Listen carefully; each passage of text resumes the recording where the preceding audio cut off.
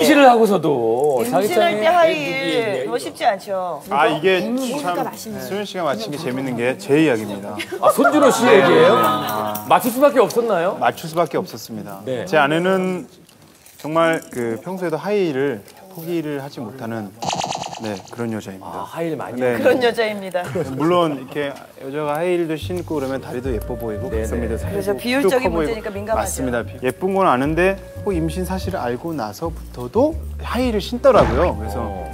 아 아직은 몸이 가벼워서 그런가 보다 초기에 좀 조심해야 될 텐데 그래 뭐 하이힐 신는 거에 대해서는 별말을 안 했습니다. 근데 네. 배가 점점 불러오고 몸무게도 점점 무거워지는데 아, 하이힐을 포기를 안 하는 거예요. 언제까지요? 만삭 때까지. 그래가지고 저는 이제 아 초산에 아까 얘기했듯이 20대도 아닌데 걱정이 되는 거죠 제가 얘기를 했어요 좀 낮은 신발 신는 게 좋지 않을까요 뭐 요즘 예- flat shoes라고 해서 예쁘게 나오는 것도 네네, 많은데 평평하게. 그거를 flat shoes를 사줬는데 그거 신을 때는 저희 어머니 만나러 갈 때. 그러니까 혼날까 봐. 신재영 엄마 만나러 갈 때, 그러니까 양가 어머니 만나러 갈 때만 낮은 신발을 신고 평소에 하이힐을 신더라고요. 그래서 하루는 너무 걱정이 돼가지고 이제 담당해 주시는 의사 선생님한테 네. 아 선생님 이 아내가 하이힐을 포기를 못합니다.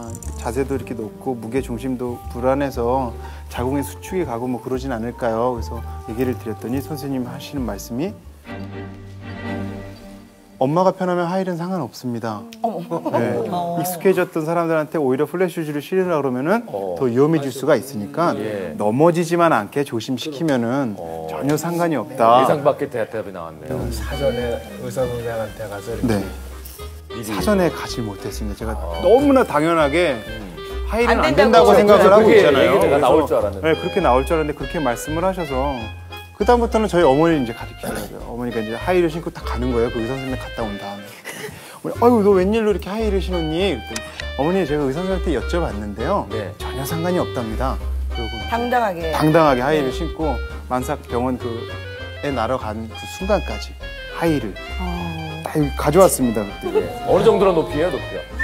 이게 몇 센치인가요? 이게 아이고 애 나러 갈 때도 신었던 그 하이힐. 맞습니다. 이거 잔소리를 많이 하더라고요, 정말. 예, 예. 저, 뭐 평상시에도 조금 안 하는 편은 아닌데 잔소리를. 네, 이렇게 제가 앞에 걸어가고 있으면 뒤에서 이렇게 방청객 여러분들처럼 뒤에서 금실 이렇게 막 말을 많이 해요. 아유, 저가 저래서 어떡하나 뭐 이런 이런 식으로.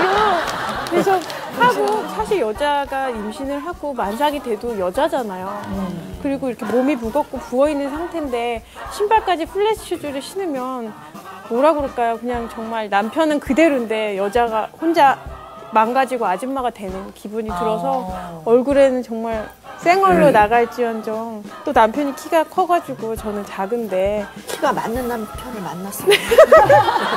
아니 그러니까 도련님이랑 형수님이랑 가는 느낌으로 아. 다니는 것 같고 예, 그게 좀- 비주얼적으로도 네. 좀. 그래서 나름대로 좀, 조금 불편하긴 했지만 네. 그래도 좀 여자이고 싶은 마음이 강했기 때문에 근데 지금은 오히려 엄마가 되니까 오히려 더 플래시즈를 좀 신게 되더라고요 아기 때문에 네. 대단하시네 김수현 씨가. 예.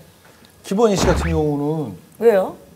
저쪽 그 대기실에 계시다가 네. 여기 녹화하러 여기 내려오잖아요. 네. 그때 그냥 운동화 운동화가 뭐예요? 대기실에서 여기까지 오는데. 운동화 부르기 신고 같아 여기 와서 구두로 갈아서 저도 힐을 못 신는 분이어서. 그냥 얹어 있는 거야 지금 신고 다니는 거. 녹화 끝나면 다 씻고 예, 예. 하이힐을 가져가고. 어. 네. 근데 만삭인데 하이힐. 그러니까 살이 많이 안 찌셨었나 봐요. 저 같은 경우에는 막 27kg씩 쪘었어요. 그래서 아까 80kg. 27kg요? 27kg, 28kg 가까이 막. 그래갖고 이제 저는 하이힐 자체를 아예 신어본 적도 없을 뿐더러 운동화나 뭐 이런 거 다 10mm씩 더 크게 신고 발이 많이 부어갖고 살 30kg 가까이 쪘어요? 그렇게 찌더라고요. 근데 저는 좀 그리고 원래 잘 먹는데 임신했으니까 난 쪄도 돼, 막 뚱뚱해져도 돼. 이때 아. 아니면 내가 언제 마음 놓고 먹으리 막 이래서 자기 직전까지 막 계속 입에 뭐 계속 달고 살았어요. 근데 지금 출산한 지 얼마 됐어요? 둘째 낳은 지는 14개월 됐어요. 근데 아 저는 따로 운동 한 번도 한 적 없어요. 그냥 빠졌어요, 그냥 이렇게? 빠졌어요. 그럼 애 몸무게가 27kg였겠는데? 아니에요. 진짜 오로지 살이었어요. 양수랑 다 해봤자 한 4kg 정도 된다고 하더라고요. 그래서 근데 이제 이제 예비맘들한테